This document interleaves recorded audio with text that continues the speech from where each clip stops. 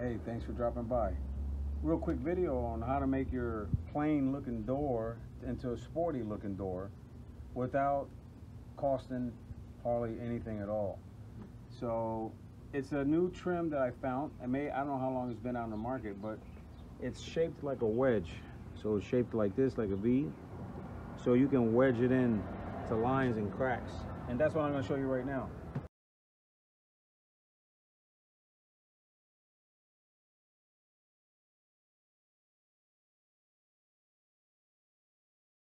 I already pre-cut this for this line that I'm going to put in here.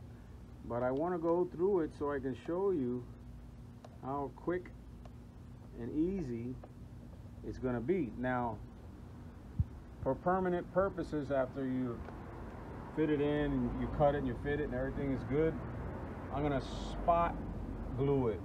You know, spot here, spot there, spot here, spot there with super glue, just so it'll stay in there know, you don't want the someone to slam the door and then it just pops out.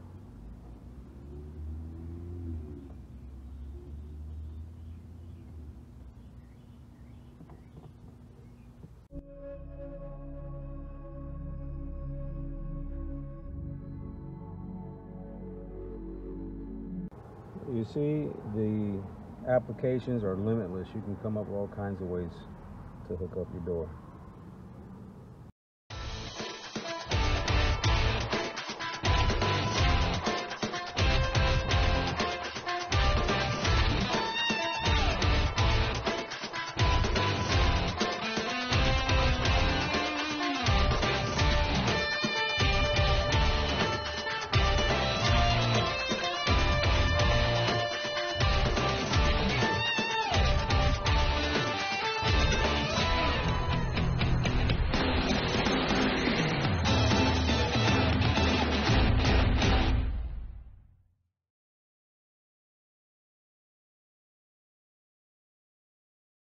Thank